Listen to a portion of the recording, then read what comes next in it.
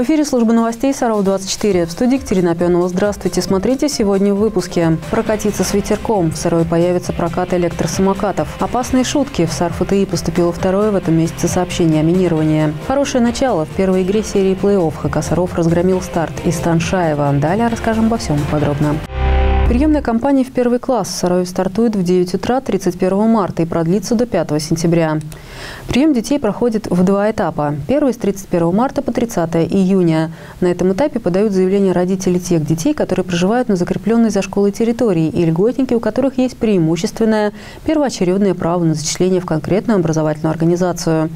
Первоочередным правом пользуются дети военнослужащих, сотрудников полиции, ОВД и ряда других силовых ведомств по месту проживания семей. Преимущественное право имеет ребенок, чей брат или сестра уже учатся в этой школе.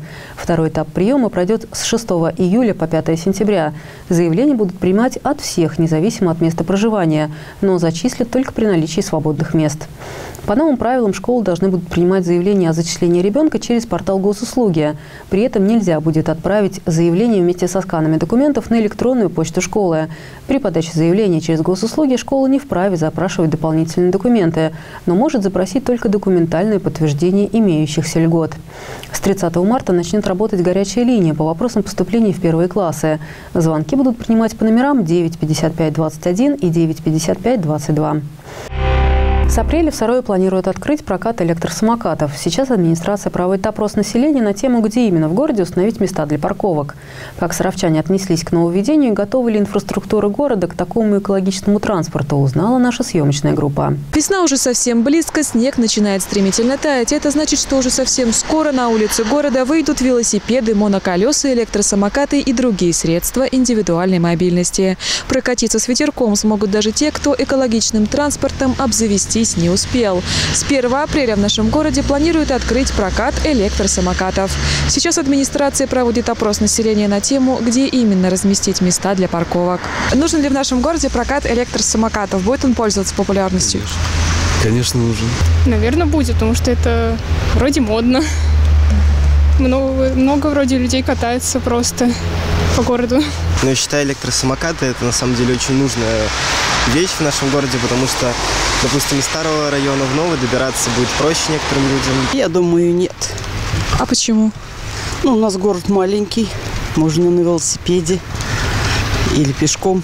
Реализации таких э, идей они опоздали, так как все, кто хотел кататься на электросамокатах, давно их приобрели. А вот э, вся эта прокатная э, история, она была какое-то время актуальна в западных странах, но сейчас уже такой популярностью там не пользуется, насколько мне известно. Что и нет. И так обстановка какая-то у нас неблагонадежная. А это еще будет больше всяких аварий. Так что я против. Где лучше их располагать? Да уж, наверное, около торговых центров и где больше всего людей все-таки быть самых э, проходных местах, э, где люди ходят, где можно без особых усилий как добраться до самоката. Ну, как-то больше идей не возникает. Я вообще не местный. Я был в больших городах, там в основном в таких парках, либо вот в Нижнем, например, на Покровке. В марте электросамокаты приравняли к средствам индивидуальной мобильности. Максимальная скорость движения на нем при весе до 35 килограммов составляет не более 25 километров в час. Кататься на электросамокатах теперь официально можно по тротуарам, пешеходным зонам и велодорожкам. Вопросом создания в городе комфортной и удобной велодорожной сети занялась городская дума. Помогает депутатам молодежная палата. Активисты уже встретились с представителями велодвижения в нашем городе и провели опрос среди населения. Больше всего замечаний было по э, отсутствию плавных съездов, э, тротуаров и пересечений с, проезжим, с проезжей частью. Но Э, на первом заседании по развитию велодвижения э, представитель ДГХ говорил о том, что они реагируют на подобные замечания и сглаживают съезды э, по просьбе горожан. Так что если у кого-то есть предложение, где бы можно было такой съезд переделать, то можно обратиться в ДГХ. Еще одна проблема, волнующая любителей средств индивидуальной мобильности – отсутствие парковок. Особенно остро это ощущается в летний период у площадок ядерного центра. Молодежная палата занялась этим вопросом. Нас интересовал момент в том, что не хватает парковок рядом с проходными э, площадки основная. Э, и уже обратились к руководству ВНЕФ с просьбой увеличить их количество. Вот в данный момент этот вопрос мы прорабатываем. Я думаю, что к началу сезона мы сможем увеличить два раза количество парковочных мест. Оставить свое мнение о том, где лучше разместить парковки проката электросамокатов, можно в группе администрации ВКонтакте. Анна Пелепец, Константин Островский, Евгений Иващенко. Служба новостей Саров, 24. День открытых дверей по сохранению здоровья мужчин и женщин пройдет в первой поликлинике. 25 марта все желающие смогут пройти обследование в рамках диспансеризации. Прием проведут терапевт, уролог и гинеколог. Пациенты сдадут общий анализ крови, биохимический анализ крови, общий анализ мочи, пройдут ЭКГ, спирометрию, измерение внутриглазного давления, рентген органов грудной клетки. Другая важная информация в подборке коротких новостей. Автобус с детьми из Сарова попал в смертельное ДТП в Пензе. Водитель микроавтобуса при повороте не уступил дорогу ехавшему по встречке автомобилю «Киа», сообщает Пензенская прокуратура. Водитель легковушки погиб на месте. Его семилетний ребенок скончался в больнице. Четверо детей из автобуса госпитализировали. Их жизни ничего не угрожает. В ближайшее время их планируют перевести на лечение в Нижний Новгород, сообщает глава Минздрава региона Давид Мелик-Гусейнов. Строительство новой детской поликлиники на улице Чапаева продолжается месяца. Полностью выполнили работы по наружным сетям, теплотрасса, водоснабжения, ливневая и бытовая канализации, электроснабжения. Подрядчик заканчивает кровельные работы, облицовку фасада здания и черновую отделку внутренних помещений поликлиники. Около 9 утра на электронную почту САРФТИ пришло сообщение о минировании. Отправитель утверждал, что взрывные устройства заложены во всех корпусах. Администрация отреагировала оперативно. Сотрудников студентов эвакуировали и вызвали специальные службы ОВД, Росгвардию, полицию, ФСБ. Проверка показала, что сообщение было ложным. Службы все приехали своевременно, весьма быстро среагировали. Уже вот со служебной собакой идет обход зданий. Полиция пока дежурит, Росгвардия здесь. К сожалению, да, это второй случай. Будем надеяться, что все-таки найдут таких шутников и накажут. Первоклассник одной из городских школ пострадал от рук своего одноклассника. Мальчика 2015 года рождения доставили в больницу с колотой раной волосистой части головы. На уроке другой мальчик воткнул пострадавшему в голову карандаш. После осмотра врачом ребенка отпустили.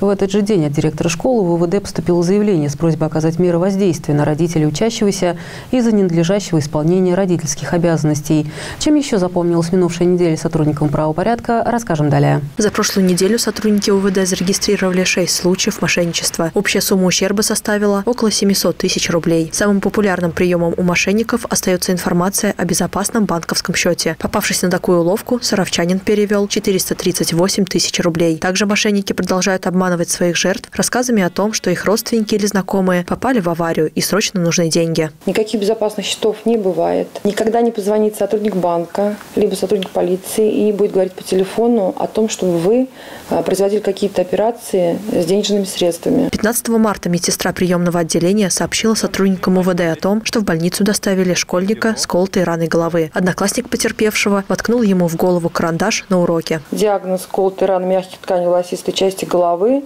народное тело мягких тканей головы отпущено. По данному факту проводится проверка. В этот же день было зарегистрировано заявление директора школы с просьбой оказать меры воздействия на родителей учащегося, причинившего телесное повреждение однокласснику в связи с ненадлежащим исполнением родительских обязанностей по воспитанию ребенка.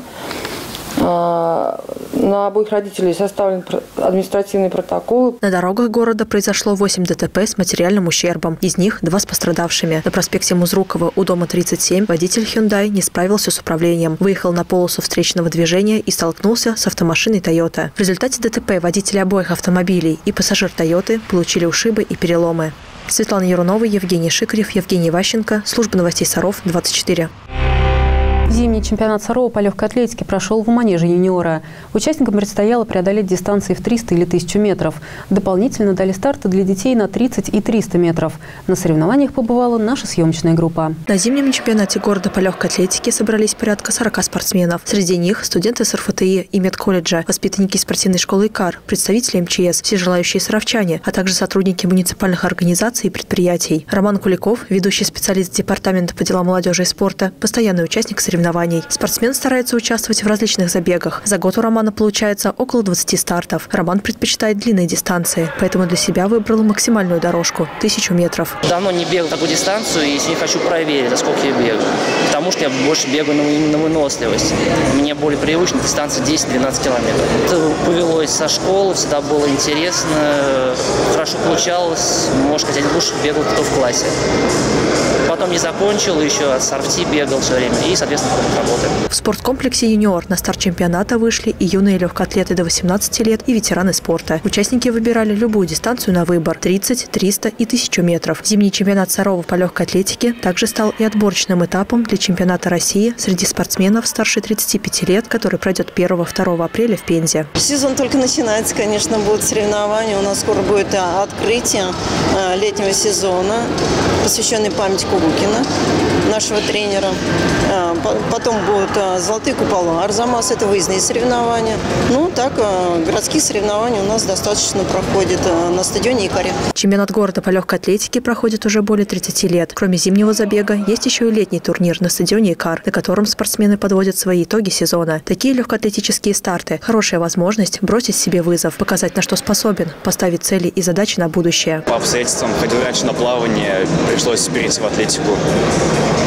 А, спорт очень понравился, поэтому я остался. Призер области, чемпион, а, призер а, БФО на эстафете на 400 метров, участник всех соревнований. Моя цель, естественно, это победить и для себя результат улучшить на дистанции своей для своего же удовольствия, скажем. После забегов прошло торжественное награждение призеров и победителей легкоатлетического чемпионата. Светлана Ярунова, Евгений Шикрев, Евгений Иващенко. Служба новостей Саров, 24. Градус напряжения чемпионата по хоккею высшей лиги поднимается. Регулярные соревнования подошли к концу. Саров вышел в плей-офф с лидерской позиции. В минувшие выходные на своем льду наши хоккеисты приняли команду «Старт» из Таншаева. О том, как прошла встреча, расскажем далее. Вот выход один в одного. Можно забивать гол. Красивая игра, такой назвали болельщики встречу хоккейного клуба «Саров» с командой «Старт» из Таншаева, которая прошла в минувшие выходные в Ледовом дворце. Поддержать свою команду пришли многие горожане. Что пожелаете? Чтобы легко выиграть больше твердую победу. Чувствуется разница большая, что раньше играли и что сейчас играет. Разница большая. Хороший, отличный, веселый. Что, победим? Конечно. А с каким счетом? 7-3. Только выигрыши. Мало того, там мой внук играет. Неужели я за кого-то другого буду болеть? Не. Так только за наших. Саров впереди.